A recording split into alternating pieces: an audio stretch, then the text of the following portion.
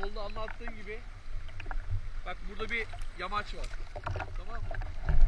Yamaçtan aşağıya bak yamaçtan aşağıya tamam mı? Burada nefeslenmek suretiyle ne yapıyoruz? Dinamik apneyle aşağı doğru iniyoruz.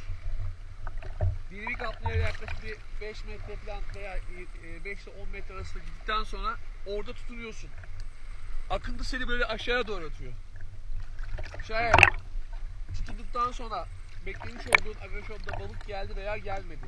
Balık geldiğinde balığın vücut dilinin düşmüş olduğuna iyi bak. Vücut dili düşmeden tetik düşürme. Sakin kal. Kafanı sağa sola çok fazla çevirme. Tamam mı? Akabinde sabit kaldığında balık senin önünde de rahatladığını bile vücut dilinin hafiflediğini göreceksin. Hafiflediğini gördüğün an itibariyle tamam mı? Balığın orta noktasına tetik düşür.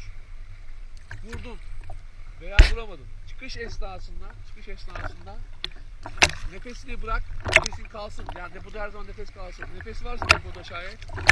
Direkt satırtan yani dinamik atlıyor şeklinde havuzda antrenmanı gibi satırtan doğru tamam mı?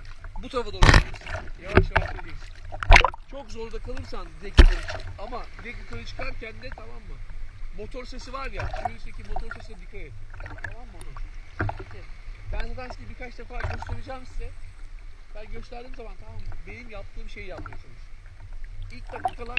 Sizi düşürmüyoruz. Zıplayamıyoruz. Ben bakacağım. Balık gördüğümüz zaman diyeceğim ki arkadaşlar balıklar başladı. Tamam mı? Lastiklerinizi çekin. Okey mi? Ondan sonra ben ineceğim. Siz ineceksiniz. Sırayla ineceğiz. Tamam mı?